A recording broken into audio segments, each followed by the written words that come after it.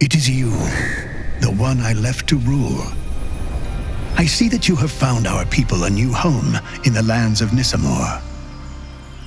The keep and a stockpile provide stability for your new settlement.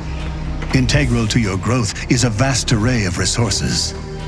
Plentiful stores see your kingdom expand and rise.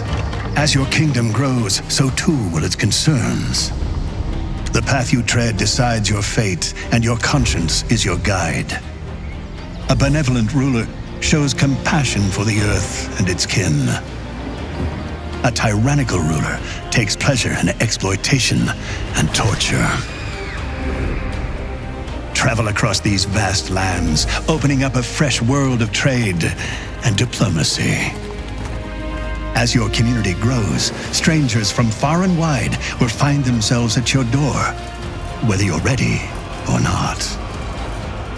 You cannot outrun the Waldrim. It lurks here too, stirred by every decision made.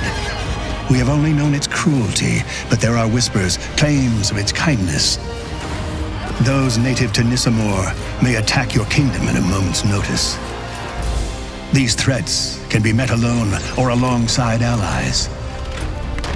Long may you reign, and long may you thrive.